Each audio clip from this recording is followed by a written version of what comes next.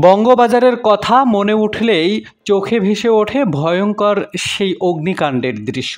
গত বছর ঈদের আগে আগুনে পুড়ে ছাই হয় রাজধানীর ঐতিহ্যবাহী বঙ্গবাজার মার্কেট। এতে নিঃস্ব হয়েছিলেন সেখানকার হাজারো কাপড় ব্যবসায়ী। অগ্নিকাণ্ডের পর গত সাড়ে এগারো মাসেও ঘুরে দাঁড়াতে পারেননি তারা। এখন তাদের মধ্যে নেই কর্মচাঞ্চল্য। ব্যবসায়ীদের অনেকেই নতুন দিনের অপেক্ষায় এখনও সময় গুনছেন। সুদিন কবে আসবে জানা নেই তাদের। ঈদুল ফিতরের মাত্র কয়েকদিন আগে দু হাজার তেইশ সালে চারে এপ্রিল ভোরে বঙ্গবাজার কমপ্লেক্সে আগুনের সূত্রপাত হয়। সেই ধ্বংসস্তূপে দাঁড়িয়েই গত দুই ঈদ কেটেছে বঙ্গবাজারের ব্যবসায়ীদের। আগুন লাগার পর সেখানকার চিরচেনা রূপ পাল্টে গেছে। নেই ক্রেতার ভিড়, তবে ব্যবসায়ীরা বাঁচার তাগিতে আর ঘুরে দাঁড়ানোর আশায় সেখানেই চৌকি বিছিয়ে সামিয়ানা টাঙিয়ে যতটুকু সম্ভব বেচা কেনা করছে।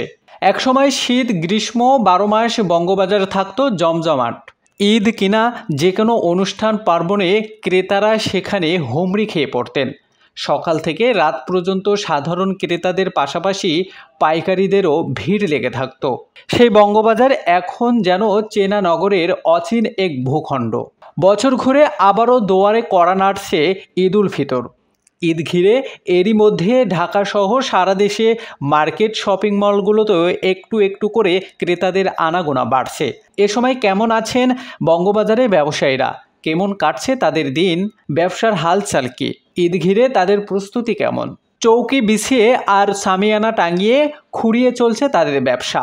অধিকাংশ দোকানেই নেই নিজস্ব সাইনবোর্ড। কেউ কেউ পরিচিত ক্রেতাদের সুবিধার্থে বাঁশের খুঁটিতে দোকানের নম্বরসহ সাঠিয়েছেন ব্যানার।